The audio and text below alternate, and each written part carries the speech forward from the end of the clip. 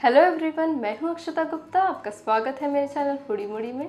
मेरी आज की रेसिपी है वेज बिरयानी इस बिरयानी को हम किसी ऑथेंटिक तरीके से नहीं बनाएँगे, इसे हम एक बहुत ही क्विक तरीके से बनाएँगे, जिससे ये करीब आधे घंटे में बन करके तैयार हो जाएगी। तो चलिए बनाना शुरू करते हैं वेजिटेबल बिरयानी मैंने यहाँ डेढ़ कप बासमती चावल लिया है, इसे अच्छे से धो लिया, उसके बाद इसे 15 मिनट के लिए भिगो दिया था। इसे हम एक सीटी दे करके पका लेंगे। मैं यहाँ कुकर में पकाने वाली हूँ। इसे एक सीटी से ज़्यादा ना पकाए। हमने चावल को भिगो कर रखा है। ये जल्दी पक जाएगा और साथ ही थोड़ा बहुत बिरयानी के साथ भी पकेगा।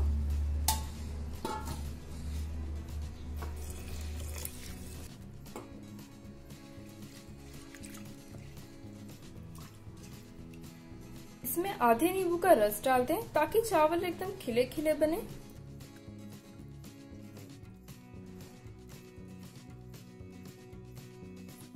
डेढ़ कप चावल में करीब डेढ़ कप पानी डाला है। कुकर का ढक्कन लगा लें। सबसे पहले हम मसाला पीस करके तैयार कर लेंगे। मैंने यहाँ दो प्याज लिया है। इसमें दो हरी मिर्च डाल दें। आधा इंच अदरक 10 से 12 लहसुन की कलियाँ, हाफ़ टी स्पून जीरा, हाफ़ टी स्पून काली मिर्च इसे बारीक पीस लें। इसे पीसते समय बिल्कुल भी पानी ना मिलाएँ।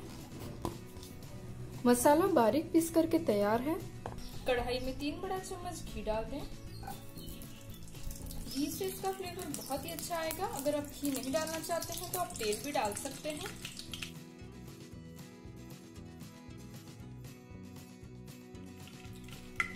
अब इसमें 10 से 12 काजू डाल दें।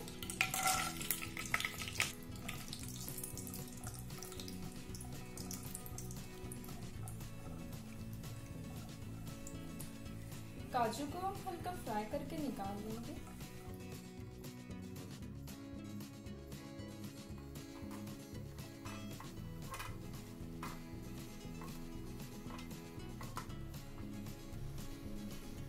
इसमें हम खड़े मसाले डाल देंगे, जैसे कि मिर्ची, तेजपत्ता, लौंग, छोटी इलायची, बड़ी इलायची, काली मिर्च।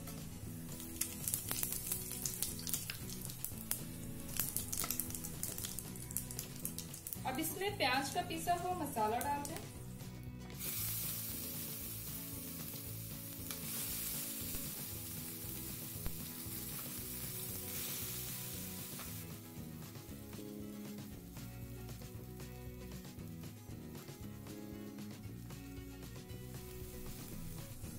प्याज अच्छे से भून गए हैं। अब इसमें हम टमाटर डाल देंगे। मैंने दो बड़े टमाटर को पीस लिया है।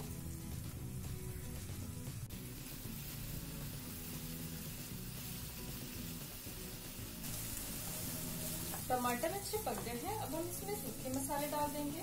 इसमें हाफ़ टी स्पून हल्दी डालें। वन टीस्पून गरम मसाला। वन टेबल स्पून बिरयानी मसाला। इसमें मैं एक बड़ा चम्मच सूखा पुदीना डाल रही हूँ। आपके पास पुदीना पत्ती हो तो आप आधा कप बारीक कटा पुदीना पत्ती डाल दें। पुदीना से बिरयानी का टेस्ट बहुत ही अच्छा आएगा।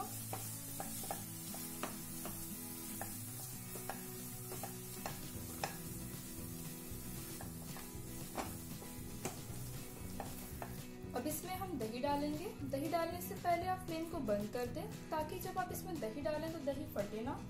इसमें दो बड़ा चम्मच दही डाल दें। इसे तुरंत ही अच्छे से फेंट लें।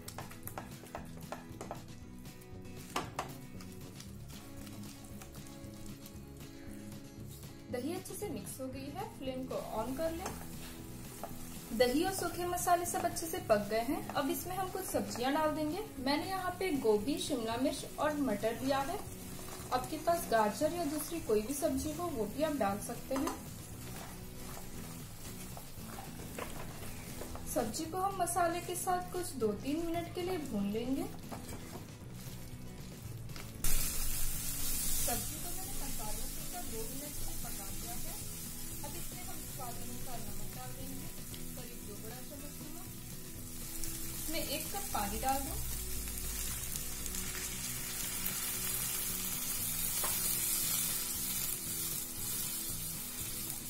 अब मीडियम टू हाई फ्लेम पे हम गोभी मटर को सब अच्छे से पका लेंगे।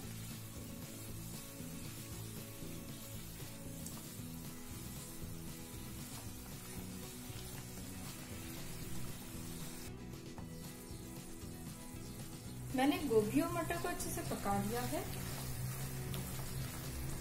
अब इसमें बारीक कटा हरा धनिया डाल दें।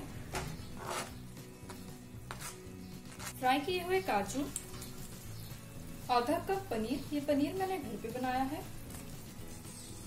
इसका लिंक आपको डिस्क्रिप्शन बॉक्स में मिल जाएगा। इन सब चीज़ों को अच्छे से मिक्स कर लें।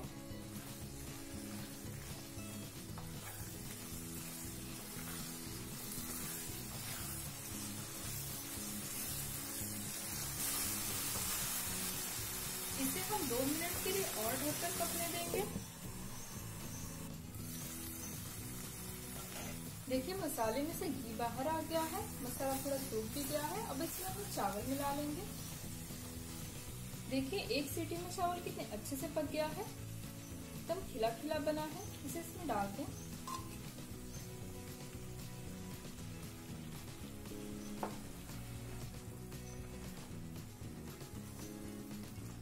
फ्लेम को लो कर दे और इसे अच्छे से मिक्स कर लें।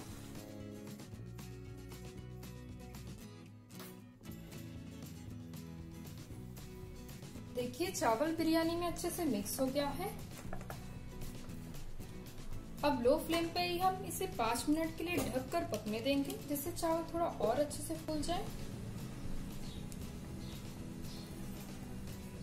देखिए, बिरयानी बनकर के तैयार है। कितनी अच्छी बिरयानी बनी चावल अच्छे से फूल गए हैं, मसालों के साथ मिक्स हो गए हैं। बहुत अच्छी बिरयानी बनी है। तो मेरी इस रेसिपी के बारे में आपकी क्या राय है, मुझे कमेंट बॉक्स में ज़रूर बताएँ। इस रेसिपी को लाइक करें, ज़्यादा से ज़्यादा शेयर करें। और मेरे चैनल को सब्सक्राइब करना बिल्कुल ना भूलें। Thank you for watching bye bye